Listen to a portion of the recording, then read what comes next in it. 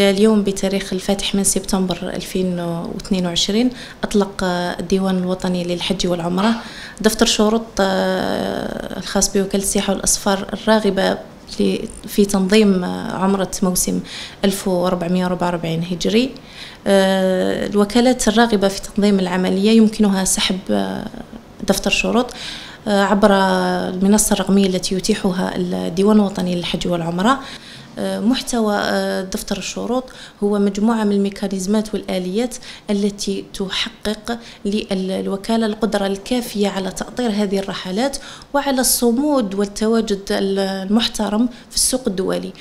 بما في ذلك حفظ وصون حق المواطن الجزائري وصون كرامته بالبقاع المقدسة لأداء عمرة في أحسن الظروف.